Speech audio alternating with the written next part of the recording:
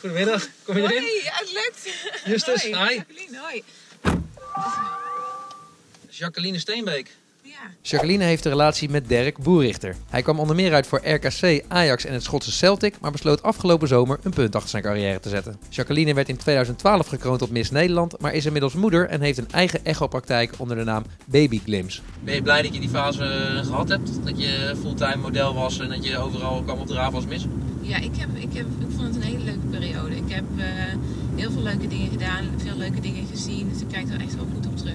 Want waarom ben je verloskundige geworden? Dat is heel wat anders dan eh, model natuurlijk. Heel anders, ja. Ik was heel erg gefascineerd om eh, bevallingen. Ook de dankbaarheid die je krijgt van mensen. En dat je bij zoiets unieks aanwezig bent. Dat is zo speciaal.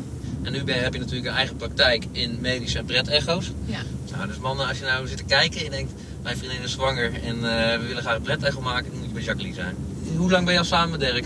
Mm, ruim vier jaar nu. Beetje rond die misverkiezing. rond die misverkiezing, ja. Waar kwamen jullie voor elkaar voor het eerst tegen? elkaar eigenlijk gewoon eh, via gemeenschappelijke vrienden hebben we elkaar leren kennen. En Ja? zo eh, met elkaar in contact gekomen. Het klikte zo goed. Dus had ik een vliegticket geboekt naar Schotland. Dus ben je eerst een paar keer heen en weer gegaan of hoe ontwikkelde Ja. zich dat? En ik was op dat moment eh, nog Miss Nederland. Als ik even na drie, vier dagen vrij had, vloog ik naar Schotland. En vaak was dat één keer in de twee weken. Op een gegeven moment merk je ook dat dat niet is wat je wil. Ik koos wel echt om, om bij hem te zijn. Dus op een gegeven moment heb ik ervoor gekozen om mijn baan op te zeggen. En eh, een enkeltje geboekt naar Glasgow.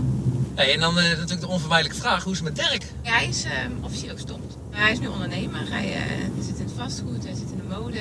En eh nou, nou, helpt mij eigenlijk heel goed bij mijn bedrijf. Dus daar ben ik ook wel heel blij mee. Dus je bent op een goed, eigenlijk op een goed moment ingestapt. Want er zijn natuurlijk heel veel eh, vriendinnen van voetballers die eerst jarenlang achter een man aan moeten, eh, aan moeten reizen. Maar dat heb jij een beetje overgeslagen. Ja, precies. Ja. Ik heb wel natuurlijk een hele mooie trip gehad in Glasgow. Ja. Daar hebben we echt wel een hele leuke tijd gehad. En leuke mensen leren kennen. Wat ook echt nog vrienden zijn. eh, Ze zijn helemaal gek van voetbal daar, toch? ja, heel erg gek van voetbal. Ze volgen je overal. Dus als je daar op straat loopt in eh, Glasgow, dan, eh, dan weten ze wel wie je bent. En ze kunnen natuurlijk ook wel op social media heel hard zijn, maar dat is Mhm. denk ik in ieder land. Ze zijn ook wel heel eh, lief en respectvol als ze je tegenkomen op straat. Oh, hier gaan we rechts. Ja, want waar gaan we naartoe? We gaan naar ehm Groeneveld in Baren. Dat is eigenlijk gewoon een mooi landgoed, een mooi natuurgebied. En dan gaan we shooten. Ja, en je zegt we gaan een shoot doen. Nou, je bent net eigenlijk weer helemaal in vorm om een shoot te doen. Want je bent eh, moeder geworden. Ja, klopt. Drie maanden geleden. Is het lang geleden dat je een shoot hebt gedaan sinds je zwangerschap? Eigenlijk eh, de laatste keer was voor mijn zwangerschap, dus het is wel even geleden.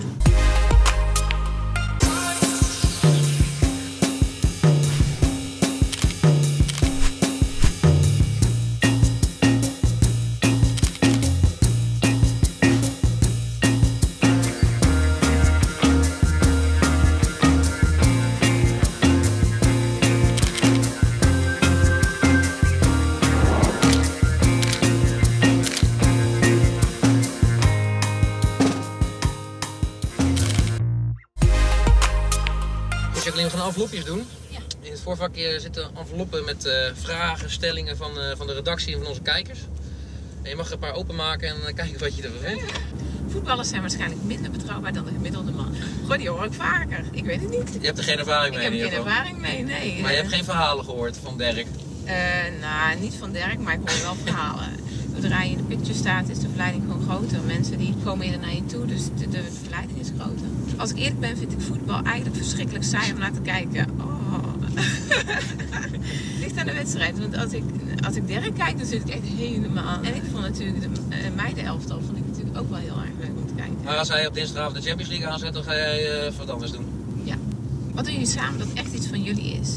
We houden er echt van om samen te sporten. Dus meer hardlopen of oefeningen buiten doen, sprintjes. En kan je hem een beetje bijhouden dan? We hebben een paar keer eh, een sprintje getrokken met z'n tweeën. En iedere keer denk ik, ik ga eruit rennen. Nou, het is echt alsof er een sneltrein voorbij komt. Iedere dag hetzelfde eten of iedere dag dezelfde kleding aan?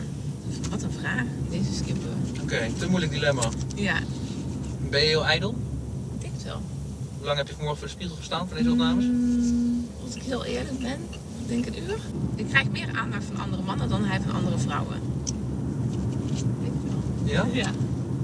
Wat is het stomste dat iemand ooit over jou gezegd heeft? Je wordt dan net Miss Nederland en dan denken ze weer van, oh, daar heb je weer een dom blondje. En, ja, alleen maar beauty, geen brains. En nou, daar word je soms wel een beetje moe van om dat iedere keer te, te moeten Ga je dan ook zelf te lezen, iedere keer wat er gezegd wordt of niet? Nee, nee. Ik kom nou het begin namelijk eh, best wel wat van aantrekken wat mensen zeiden of dachten. Dirk heeft me dat ook wel afgeleerd. Om, eh, om niet aan te trekken wat anderen Ja, die is wel redelijk recht toe recht aan, heb je Ja, die hè? is echt recht toe recht aan. Wie van jullie is het meest jaloers? Dat ben ik. Ja? Ja. nee, maar ik heb het, wel, het zit allemaal onder controle. Ja, niet nee, dat ik zo'n hysterische, jaloerse vriendin ben. eh. Oké, nee, goede nuance. Waar denk je dat hij bij jou opgevallen is?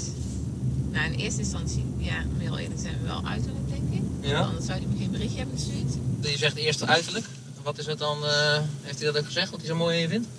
Hmm, maar uitstraling. eh Uitstraling in mijn ogen. in mijn ogen, nee. nee dat, juist weer helemaal niet. Dan zeg ik, vind, vond je mijn, vind je mijn ogen mooi? Dan zegt hij, nou, die zijn wel mooi, maar nou niet speciaal. Oké, nou lekker dan. Dus hij is echt wel heel eerlijk. Ja, net iets te eerlijk misschien. Ja. Jee, wat een vraag. Ja, lees het maar even voor. Als ik een andere voetballer aan zou moeten wijzen die ik ook aantrekkelijk vind, dan kies ik voor. Oeh, ja, dan komt het, eh, we waren boven tafel natuurlijk. Echt hè? Nou, Ja, ik moet iemand ook wel leren kennen, want ik vind echt zijn eh, persoonlijkheid, ja, dat klinkt ook weer heel cliché. ja, ik we vind wel lekker, belangrijk. dat we lekker genuanceerd gaan doen. Maar gewoon Ah. nou, puur, puur eh, qua uiterlijk. Ben je meer Ronaldo of meer Messi type? Nee, dan wel Ronaldo. Waar maak je het meest ruzie over? Dirk is best wel netjes. Ja, eh, en ik ben iets minder netjes. Dus hij. met de sloddervos. Nou, dat niet. Ik ben wel eh, netjes, maar ik ben niet iemand die iedere dag gaat stofzuigen of zo. Dus ik denk dat dat dan een- ons eh, puntje is. Waren dat ze? Dat waren ze. Meen je niet? Ja. Dankjewel. Hartstikke leuk. Hartstikke bedankt. Ja, jij bedankt. en de groet aan Dirk.